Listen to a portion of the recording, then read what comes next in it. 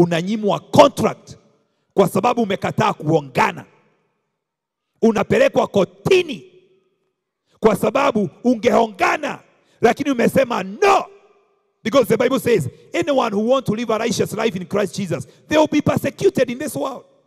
Because this world is evil, it is corrupt, it is a system. Praise the name of the living God. That rewards people also in a certain way. They reward you when you are corrupt.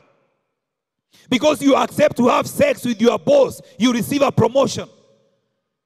But because you have, re- eh, eh, you have refused and you have decided to live a pure and holy life, you are not promoted.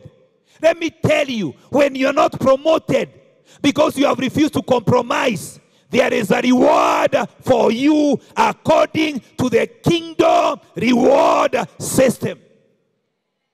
Usiseme nimepoteza promotion, usiseme nimepoteza hiyo contract, afadhali ningeongana, afadhali ningetoa pesa nisipelekwe kotini. Enda lala kwa sel siku moja, wacha akupeleke.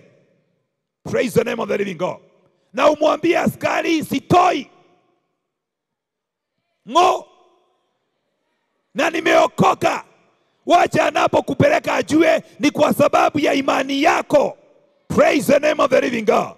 Akwambie na wewe utaona, unajifanya pasta hapa, although hata mapasta siku hizi wana compromise. Praise the name of the living God. Lakini tunatangaza ya kwamba we are going to stand firm because we know there is a reward when you stand firm for the kingdom of God.